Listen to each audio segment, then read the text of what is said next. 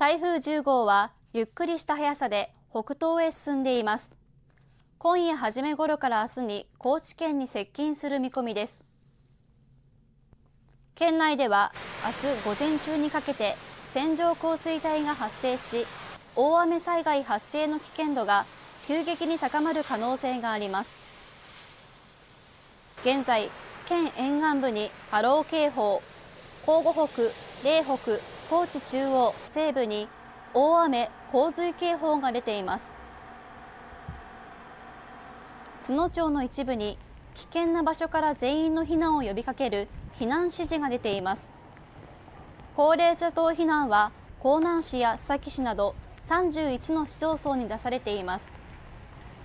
明日午前6時までに予想される24時間降水量は多いところで中部、東部で400ミリ、西部で300ミリです。空の便では今日高知発着のすべての便が欠航。JR 土山線は今日普通特急列車ともに終日運転を見合わせます。淀線も運転を見合わせています。